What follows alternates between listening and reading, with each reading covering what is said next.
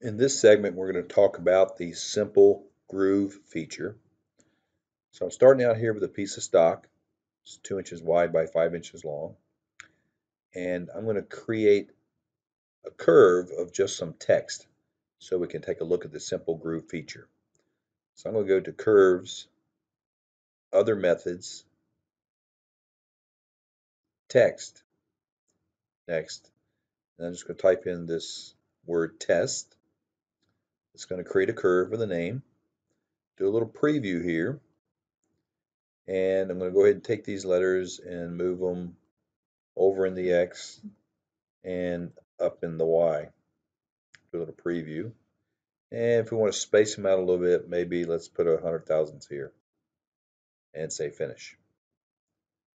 Even though there's four letters here, this is all one curve, as you can see. If I select it down here, it's curve 2.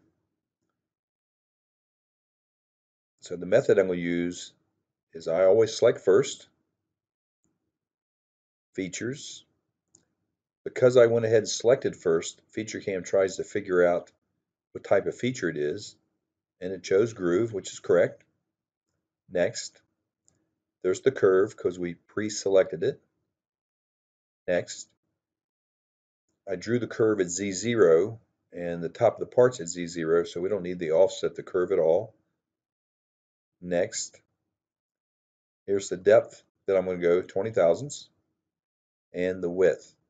But what's important here is when simple is checked, FeatureCAM is going to go get a tool that is this diameter and make a single pass. There might be multiple passes in the Z, but a single pass as far as XY is concerned. So I'm going to go ahead and say finish. And it creates a slot. Here's my 625 wide. If we go ahead and highlight the slot, the operation, and take a look at the tool page, you'll notice that it's a 1 16th end mill. So if we open this feature back up, and I'm going to double click it over here, and change this to 0.125, apply, you'll notice the graphics updates, but more importantly, you'll notice that the tool is now a 1 8 inch end mill. So let's take a look at one other thing that's going to happen. By default, if I single step in the center line mode, the 125 end mill comes out, comes down. So let's just talk a little bit about the process. It came to one inch first. Now it's sitting at 100 thousandths above. Go to front view. And I'm going to single step again and notice it rapids down and this default value is 10 thousandths. So whenever ramp is on, which is the default, FeatureCAM wants to get the tool a little bit closer to the part before it starts ramping. So let me continue to single step. There's a move. That is a 5 degree ramp that is 125 thousandths long. Then it's going to come back and work its way till it gets to depth, and then it's going to take off.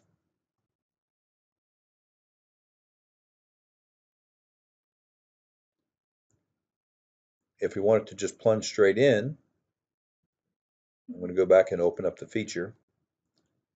I click on the operation, go to the plunge tab, and set the minimum ramp angle to zero, apply, and if we do a quick preview, the tool rapids over one inch above the part, one hundred thousandths above the part, and then feeds to depth and then goes. Let's eject that. And go back to the Dimensions tab. So again, when Simple is checked, FeatureCAM will get the tool of this size and make a single pass around. So let's really quickly make this a quarter inch, apply.